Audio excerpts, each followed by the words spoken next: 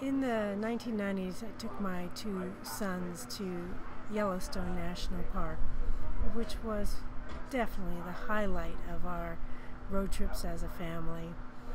And we did horseback riding where we saw an incredible array of wild animals of the park.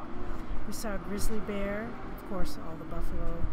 But the highlight was uh, one evening when we were coming back from a horseback ride and we saw a moose. Um, and the kids went over to inspect the moose uh, while the adults were ty- tying up the horses.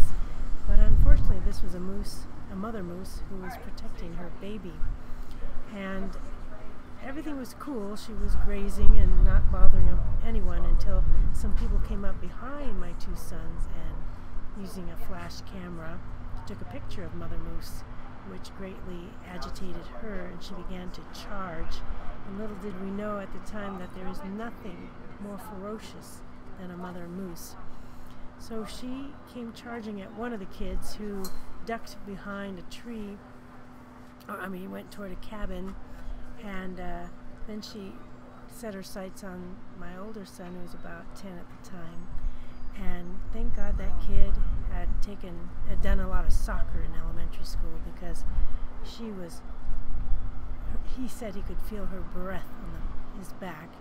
And he luckily was doing figure eights between trees. And he was stuck between the mom and the baby moose. And eventually when uh, the baby went bellowing off into the woods she uh, turned her attention and uh, to the baby and left chasing my son. But that was a near death experience but a great memory